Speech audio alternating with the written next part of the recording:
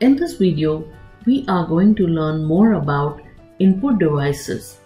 In a computer, an input device is typically a hardware equipment used to send data and instructions to the computer.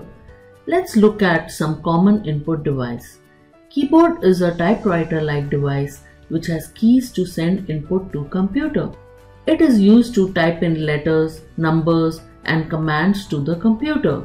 Mouse is the most common pointing device. It is held by hand and is used to control the cursor or pointer on the monitor.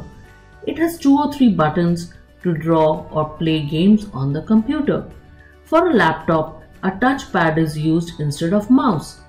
Joystick is another pointing device which is used to play games on the computer.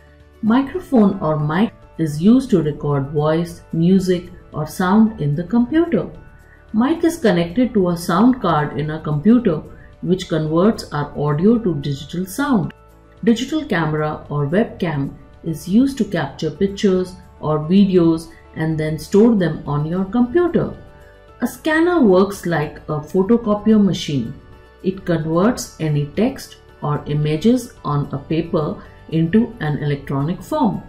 Scanner comes in various sizes from small handheld scanner to flatbed scanner to fast drum scanner.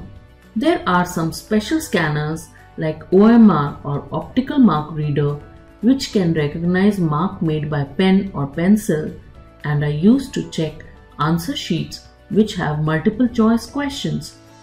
Many scanners also come with OCR or optical character recognition which can convert images or printed document to editable text on computer.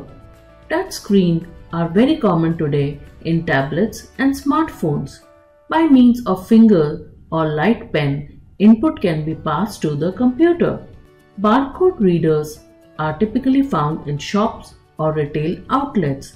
It beams a laser light which can be used to read the barcoded data which gives the information about the product such as its name, price, etc.